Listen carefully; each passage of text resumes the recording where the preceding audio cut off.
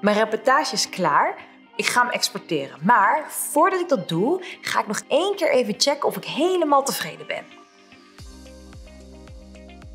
Ik wil de film even in het volledige scherm zien.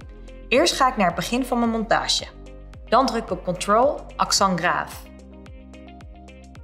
En nu heb ik ineens gauw beeld. Ik pak mijn notitieboekje erbij, ik speel de film af en noteer alles wat ik nog even wil veranderen.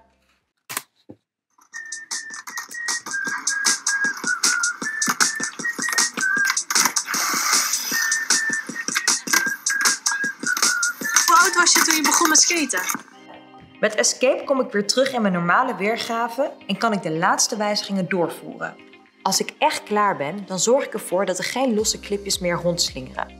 Ook zorg ik ervoor dat er geen in- en uitpunten in mijn sequentie staan. Als ik dat niet doe, dan exporteer ik alleen maar het geselecteerde deel van de film. Ik ga hem nu exporteren.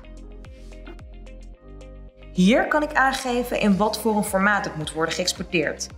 Kies hiervoor H264 met als preset Match Source High Bitrate. Bij Output Name kan je een naam intypen, maar ook een plek waar de film moet worden opgeslagen. Ik kies hiervoor de map die ik eerder gemaakt heb. En ik maak hier nog een submap met als naam Exports.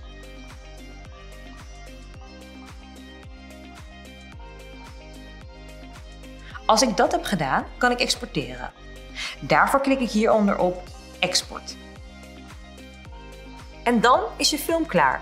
Je kan hem opsturen of ergens online plaatsen. De basis van Premiere Pro heb ik een beetje uitgelegd. Heel veel mogelijkheden heb ik nog niet laten zien. Uh, dingen zoals kleurcorrecties, werken met keyframes, werken met greenscreen. Gelukkig staat YouTube vol met tutorials waar je hulp kan vinden. Of je gaat gewoon zelf proberen. Hoe dan ook, ik wens je in ieder geval heel veel succes met jouw montages. Zet hem op.